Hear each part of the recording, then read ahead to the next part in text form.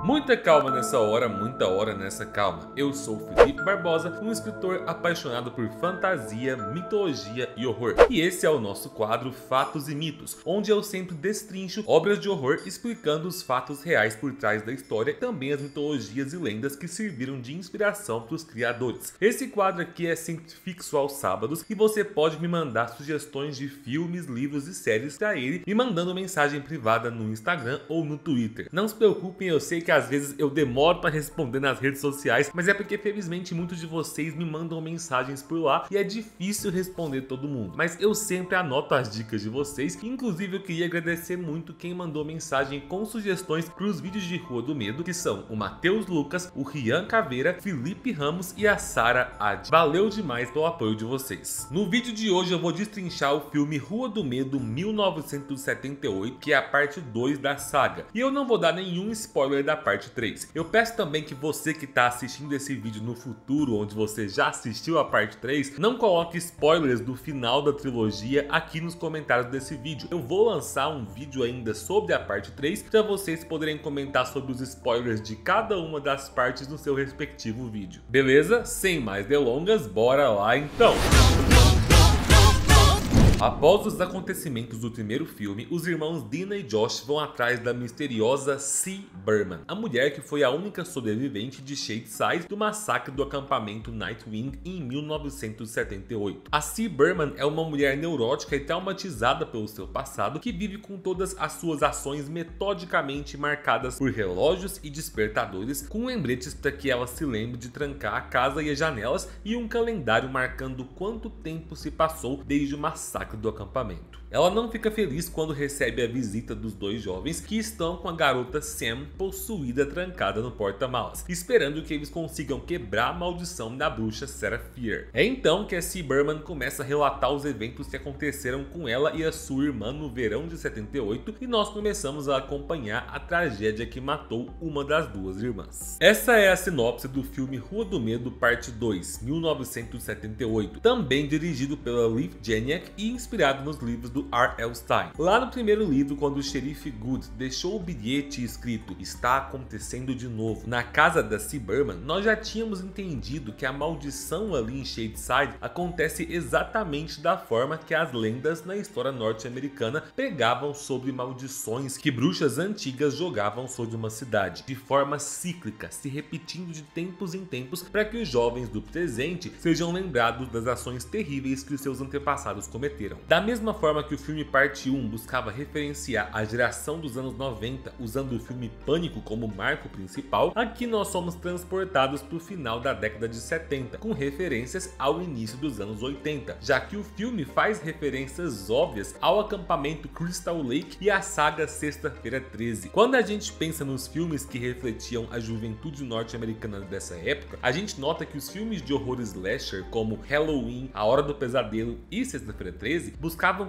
cutucar o tempo todo o falso moralismo das comunidades suburbanas dos Estados Unidos que educavam seus filhos confiando no bom comportamento desses jovens e preferiam fingir que não sabiam que os filhos viviam regados a sexo, álcool e drogas. Não é à toa que existe um padrão nos assassinos slasher, principalmente em Sexta-feira 13, de sempre ir atrás de adolescentes que estão normalmente transando ou usando drogas ou os dois ao mesmo tempo. É interessante lembrar que o Jason, o famoso vilão da saga, morreu quando ele era novo no lago do acampamento Crystal Lake, justamente por negligência dos monitores do acampamento que ficaram transando ao invés de ir tomar conta dos campistas. E tanto a mãe do Jason no primeiro filme quanto o próprio Jason nos filmes seguintes usam esse rancor para motivar um objetivo de punir os adolescentes negligentes e irresponsáveis. Toda essa referência à negligência e ao tesão incontrolável dos monitores de acampamento está presente no filme Rua do Medo Parte 2 e inclusive o visual do assassino do acampamento quando ele fica com aquele saco preso na cabeça é igualzinho o visual do Jason no segundo Sexta-feira 13, então as referências a esse marco do cinema de horror foram muito bem feitas. Mas vamos entender um pouco mais sobre o acampamento Nightwing que a gente tinha na história. Nós não sabemos há quanto tempo exato o acampamento foi construído, mas sabemos que há décadas já é tradição dos jovens jovens de Shadeside e Sunnyvale irem passar suas férias de verão por lá, participando de competições e torneios que estimulam ainda mais a rivalidade que já é natural entre os jovens das duas cidades vizinhas. A primeira vez que esse acampamento apareceu nas obras do R.L. Stein foi no livro Lights Out, onde nós acompanhamos a adolescente Holly Flynn, que é uma das monitoras do acampamento e testemunha os seus outros colegas monitores sendo mortos por um assassino mascarado durante a noite, se esforçando para resolver esse mistério. E é claro que para escrever sobre um acampamento que ficou famoso em Shadeside por uma série de assassinatos, o R.L. Stein se inspirou nas lendas sobre acampamentos assombrados que explodiram nos anos 80. Acampamentos de férias para jovens sempre foram e ainda são uma parte muito constante da cultura norte-americana, mas nada se compara à grande quantidade de pequenos acampamentos lotados que surgiram nos anos 70 e 80, que graças à paixão dos norte-americanos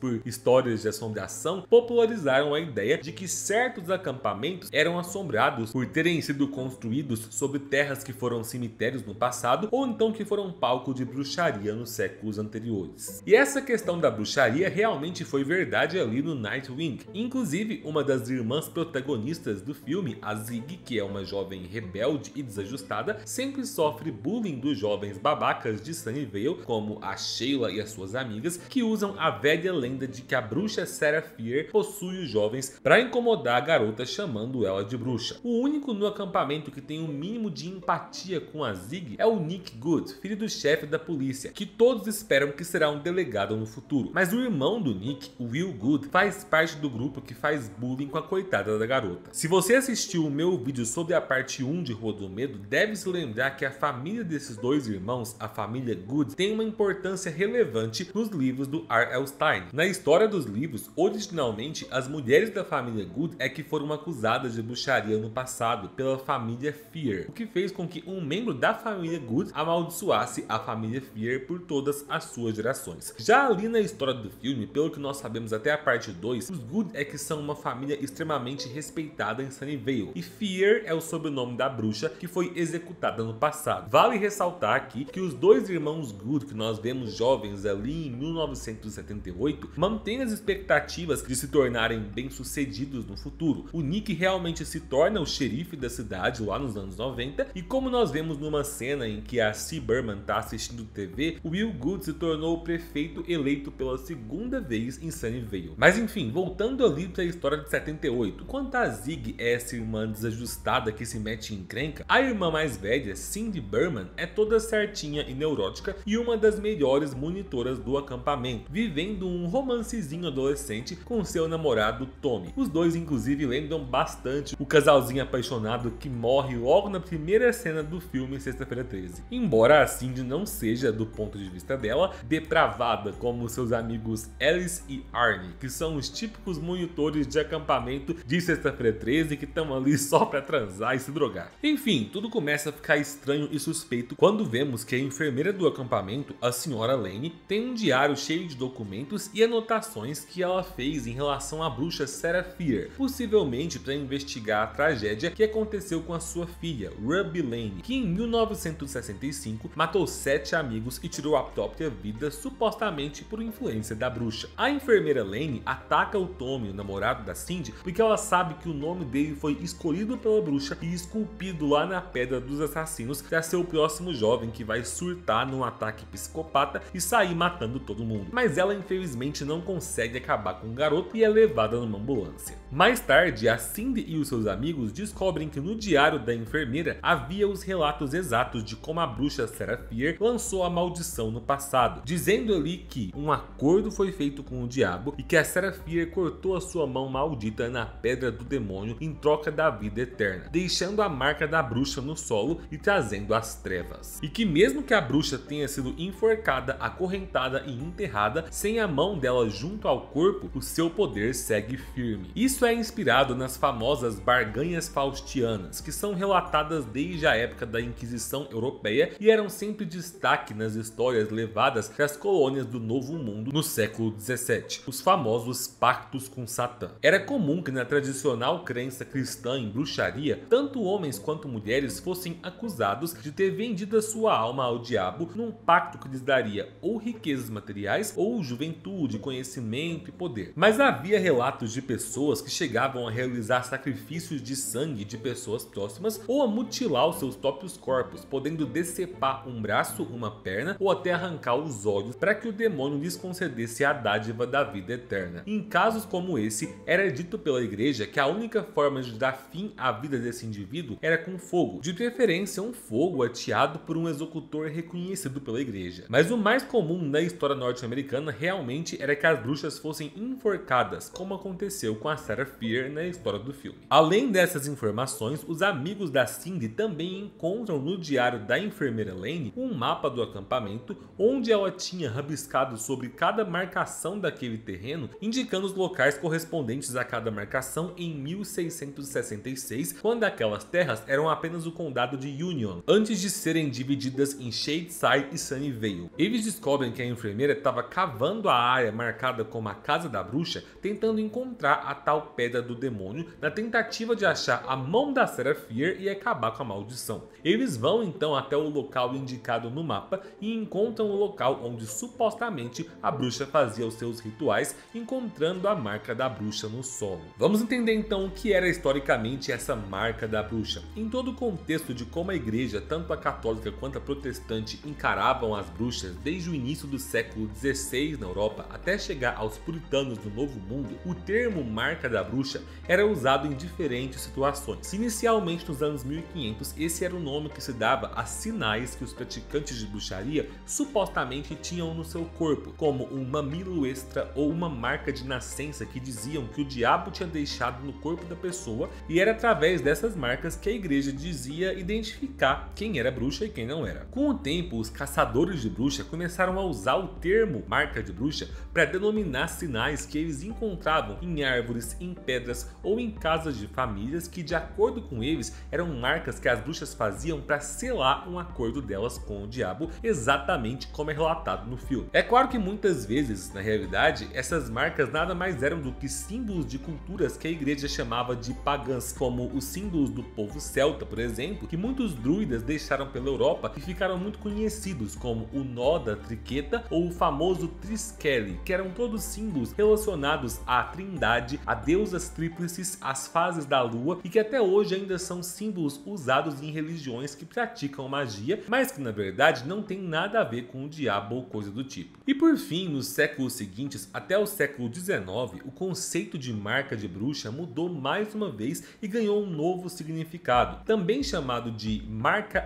apotropaica. Eram símbolos que os cidadãos comuns passaram a cravar nas paredes das casas, em igrejas, celeiros e muitas vezes em cavernas como símbolos de proteção contra as bruxas e contra os espíritos malignos. A ideia era que o símbolo impediria que os poderes da bruxa fizessem efeito naquele local, ou que a impediria até mesmo de entrar no lugar marcado. Um tipo comum de marca de bruxa encontrada em muitos edifícios ingleses eram as rodas de margarida, e até hoje estudiosos debatem sobre o sentido dessas marcas, pois dizem que enquanto alguns religiosos realmente os usavam como proteção, algumas vertentes da Wicca, por exemplo, usavam o mesmo símbolo em rituais para se conectar com o sol ou com a lua. A gente poderia indagar então várias questões históricas para entender o que exatamente representa a marca da bruxa que foi esculpida no passado ali na caverna do acampamento Nightwing. Mas como eu já expliquei no último vídeo, a gente está falando de uma cidadezinha dominada pelo famigerado pânico satânico. Então a história da qual todos têm conhecimento é a de que é mesmo uma marca que representa o acordo da bruxa com o diabo. E o poder que aquela marca representa é comprovado quando a Alice e a Cindy encontram o nome do Tommy realmente esculpido na pedra abaixo dos outros nomes dos assassinos que surtaram por influência da bruxa. E logo ele é completamente dominado pela influência dela, mata o seu colega Arnie e sai pelo acampamento matando os outros jovens de Shadyside com um machado. A Cindy e a Alice se esforçam para encontrar uma saída dos túneis subterrâneos da bruxa, enquanto a Zig e o Nick se esforçam para não serem mortos pelo Tommy possuído. Mas mesmo assim, a Zig e o Nick têm um tempinho de dar uns pegas e conversar sobre os livros de Stephen King. O que me faz pensar se realmente era assim que os jovens paqueravam no final dos anos 70, né? Um elogiava Carrie a Estranha, o outro elogiava Hora do Vampiro, e aí eles metiam a língua. E lá nos túneis subterrâneos, as garotas encontram uma espécie de coração da maldição, que é a fonte gosmenta de onde os zumbis da bruxa são trazidos de volta à vida. Ao tocar naquele coração,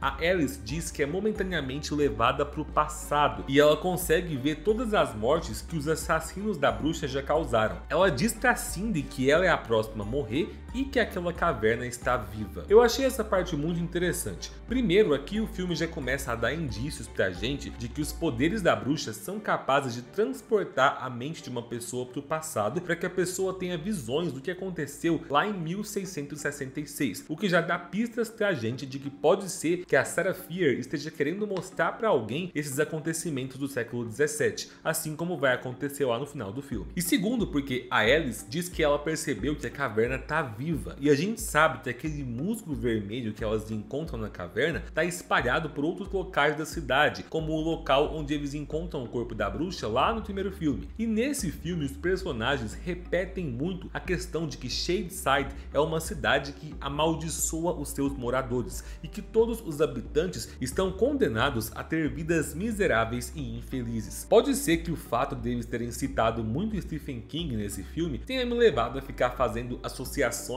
com as cidades amaldiçoadas do universo do autor, como Derry, de Tia Coisa, ou a própria Jerusalem Lot, de A Hora do Vampiro. Mas eu não pude deixar de lembrar da forma como as cidades no universo do Stephen King funcionam como se elas fossem uma entidade viva. Derry, por exemplo, é como se fosse um organismo vivo gigantesco que controla a vida amaldiçoada dos seus habitantes. E é justamente a mesma coisa que parece estar acontecendo com os moradores de Shadeside. E como todo território amaldiçoado sempre tem um chamado coração, que é o ponto onde a maldição se concentra com mais força, o coração de Shadeside parece ser justamente aquele ponto ali que as meninas encontraram na caverna. Até porque é ali que a Alice encontra a pedra do demônio que a enfermeira Lane tanto procurava, e encontra ali a mão perdida da bruxa. Mais tarde então, as irmãs Zig e Cindy conseguem se reencontrar e conseguem derrotar o Tommy psicopata juntas, mas não antes da Zig enfiar a cabeça dele num saco, dando para ele o visual do Jason do segundo Sexta-feira 13. Elas tentam então, junto com a Alice, levar a mão da Seraphir para junto do seu corpo para acabar com a maldição, mas é então que o nariz da Zig começa a sangrar, derramando seu sangue na mão da bruxa e ativando assim aquela mesma maldição que nós vimos com a Sam no primeiro filme. Os zumbis da bruxa serão trazidos de volta à vida e vão perseguir o sangue da Zig até que ela esteja morta. A Alice acaba morrendo pelo machado do Tommy e as irmãs são perseguidas pelos outros assassinos que vêm do subterrâneo. A Ruby Lane, que é a menina que matou os amigos em 1965, o Billy Barker, que é um menino que em 1922 matou seus pais e os seus irmãos com um taco de beisebol enquanto eles dormiam, usando uma máscara para esconder uma deformidade que ele tinha no rosto. O leiteiro Harry Hooker, que era um leiteiro que começou a perseguir os seus clientes em 1950 e que matou sete donas de casa naquela época com canivete. E o próprio Tommy, que volta à vida mais uma vez. Quando as irmãs correm até a árvore do enforcamento e cavam a terra na tentativa de encontrar os ossos da bruxa, elas descobrem que os restos mortais da Seraphir não estão ali e encontram no lugar uma pedra onde está escrito a bruxa vive para sempre. As irmãs olham uma para outra e a Cindy tenta salvar sua irmãzinha no momento final, mas o Tommy zumbi acaba matando a Cindy e o leiteiro Harry Hooker mata a Zig, o que faz com que a maldição em busca do sangue dela seja concluída concluída e eles desapareçam. Mas logo então Nick Good chega para salvar o dia e consegue reanimar a Zig. É nesse momento que a Dina e o Josh, que estão ouvindo a história lá em 94, descobrem que Zig era o apelido de Christine e que ela é a C. Berman que está contando a história. Os dois irmãos descobrem então que a árvore de enforcamento que existia no acampamento Nightwing continua existindo, mas que agora aquele local se tornou o shopping da cidade. Eles vão até lá, encontram a mão da bruxa e depois levam a mão até o local onde eles tinham encontrado o restante do corpo da Sarah Fear. E na hora que a Dina coloca a mão junto com o corpo, a mente dela é dominada pela bruxa e ela é transportada para 1666, onde nós vemos que na parte 3 ela irá testemunhar os acontecimentos daquela época pelos olhos da Sarah Fear. Na minha opinião, Rua do Medo parte 2 conseguiu manter o mesmo nível do primeiro, funcionando bem como uma ponte entre a parte 1 e a parte 3 e resgatando com maestria esse clima do horror slasher do fim da década de 70 e início dos anos 80 que a gente tanto curte. curte. Para não perder então o vídeo que eu ainda vou lançar destrinchando por completo a parte 3, que se passa em 1666, se inscreve aqui no canal e ativa o sininho para você não perder as notificações. Não esquece também de deixar aí nos comentários as suas considerações. Muito obrigado pela companhia, um beijo e tchau!